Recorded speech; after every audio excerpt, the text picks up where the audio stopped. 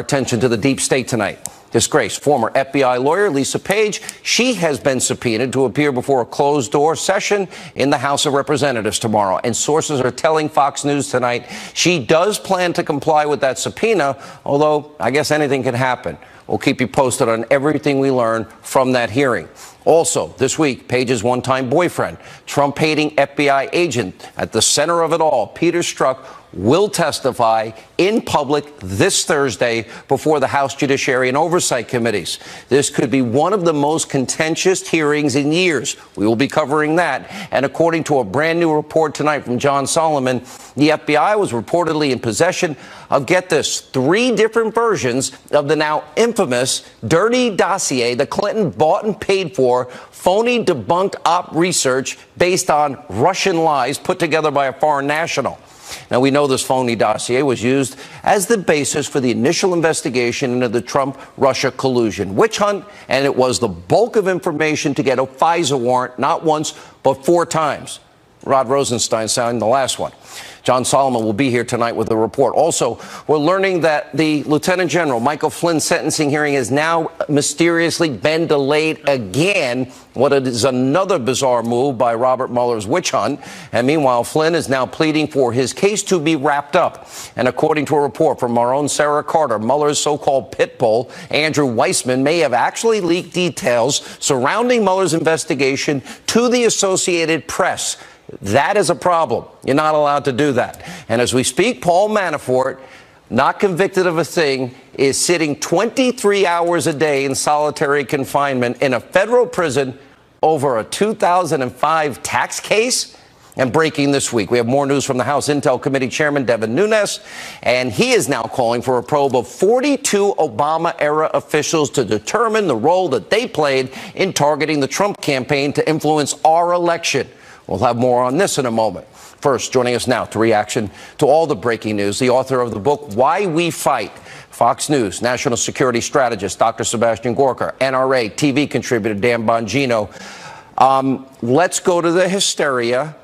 The fact that we actually have the left, X, X, fill in the blank, we're going to use the same words no matter who Donald Trump picks is pretty revealing, but it's also 101 of the Democratic Party. Smear, besmirch, slander, lie, racist, sexist, misogynist, homophobic, xenophobic, Islamophobic, dirty air, water, kill children, and grandma. It's all the same, Dr. Gorka. We never get any variation of that theme.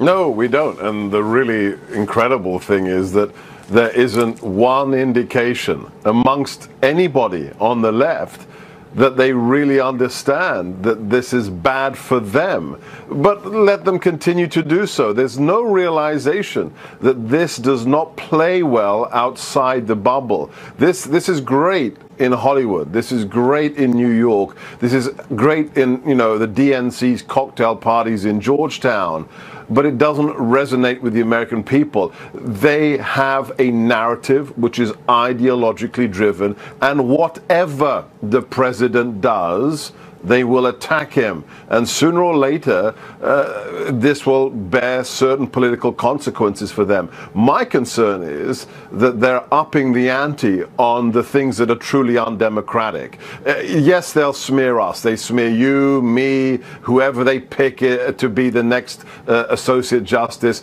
But the issue is when it comes to harassment and the use of violence. There's no equivalent of Antifa on the right. Doesn't exist. Does and, not exist. And there's no story of.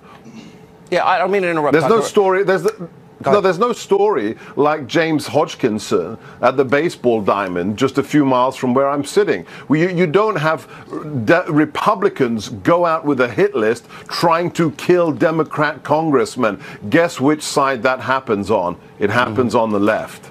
I don't see any ideas from the left for this election except we know what it is open borders, keep Obamacare. They want their crumbs back. They want to impeach Trump, and they don't want the president to get the Supreme Court nominee he wants.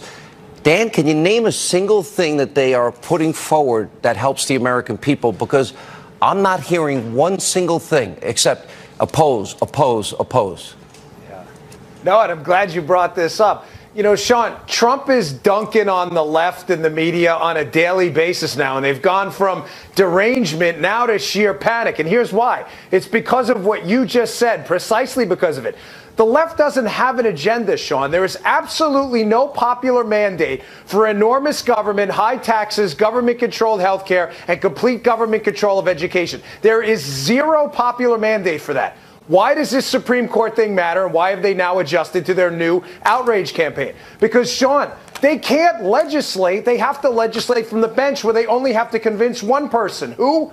A judge, because they can't convince the American people that this crap That's... agenda they have is real. Remember, liberalism stinks for liberals too. Don't forget that, Sean.